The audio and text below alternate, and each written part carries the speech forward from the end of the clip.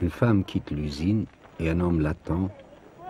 La vie du particulier peut commencer. I thought you... I thought you weren't going to eat any more chocolate.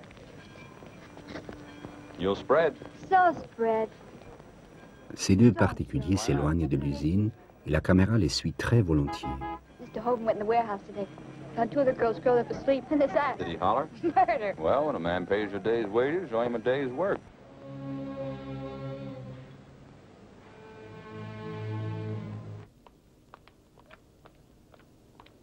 Ich habe auf dich gewartet. Ich muss mit dir sprechen,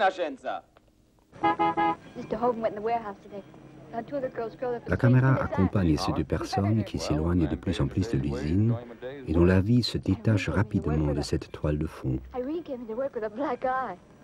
That fella she married in San Jose when she was working the fruit canners came down last night. Wanted her to go back upstate and live with him again. And when she wouldn't, he just beat her up awful. You should see her eye. Well, he's her husband. So what? I suppose you'd beat me up too if I was your wife. Sure, Ray. What would you do? Scratch my eyes out? Just try it. You'll find out.